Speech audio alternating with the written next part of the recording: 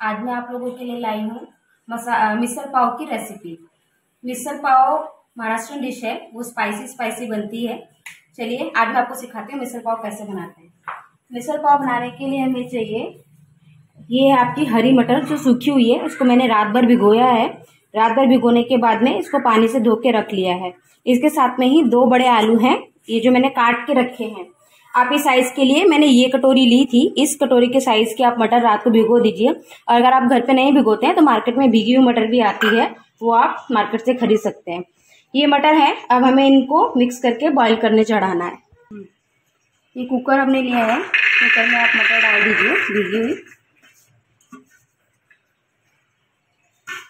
ये आलू जो आपने कट करके रखे आलू आप बड़े बड़े पीस में कट करके रखिए।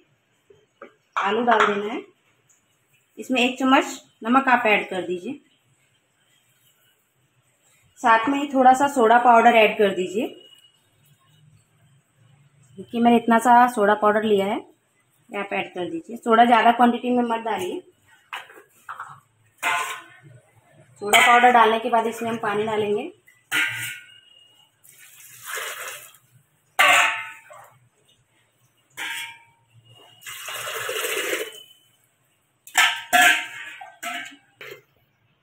ये तीन ग्लास पानी मैंने इसमें डाला है। तीन ग्लास पानी डालिए।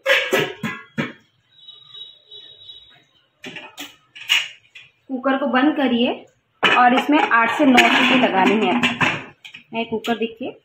मैंने कुकर इस पर रख दिया है। इसमें हमें आठ से नौ सीटी लगानी है। जब तक इसमें आठ से नौ सीटी आती है, तब तक हमको ये प्याज और टमाटर छोटे छोटे बारीक बारीक काट के रखने हैं।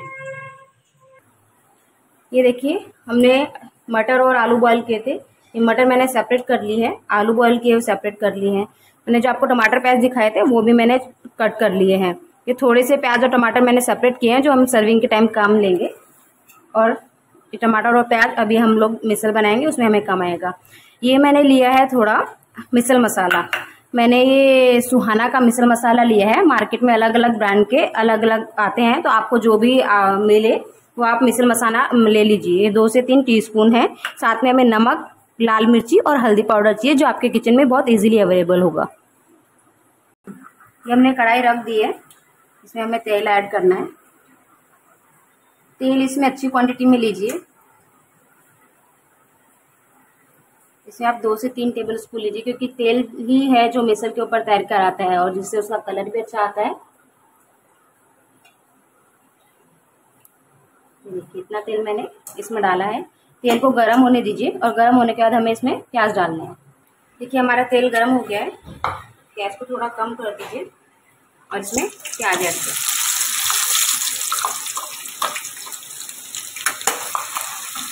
प्याज को हमें दो से तीन मिनट के लिए पकाना है। देखिए, ये दो से तीन मिनट के प्याज भून गए हैं। इसमें टमाटर डालिए।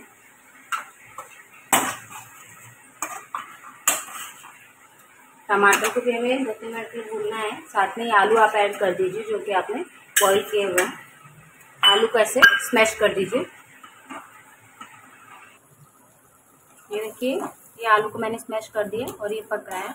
इसमें हम अभी मसाला ऐड करेंगे। इसमें ये आपका मिसल मसाला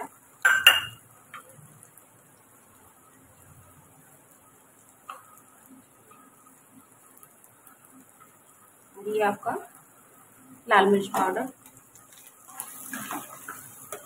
इसमें आप कलर वाला लाल मिर्च पाउडर यूज़ कीजिए, जिससे कलर आता हो। लाल मिर्च पाउडर के बाद थोड़ा हल्दी पाउडर। और मैं इसमें अभी एक चम्मच नमक डाल रही हूँ, क्योंकि मैंने मटर को बॉईल करते हुए भी उसमें नमक डाला था। जब तक ये मसाला पक रहा है आप प्लीज़ मेरा चैनल अगर आपने अभी तक सब्सक्राइब नहीं करा है तो उसे सब्सक्राइब कीजिए लाइक कीजिए और शेयर करिए।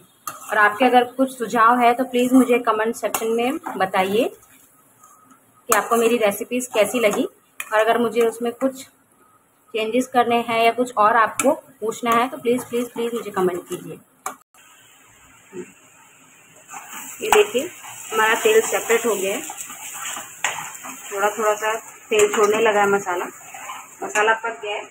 अब इसमें हम मटर ऐड करेंगे, जो हमने बॉईल करके रखे हुए थे।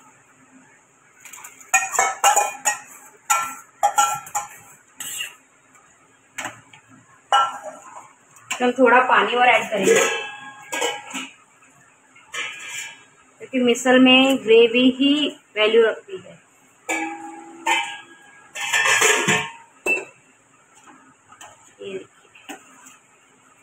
इतना पतला हमने रखा है।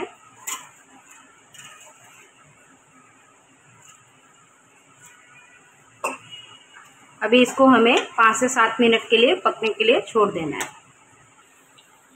ये देखिए, इसमें तेल ऊपर आ गया है और ये हमारा पक गया है। ऐसे आपका तेल ऊपर आ जाना चाहिए मिसल के लिए।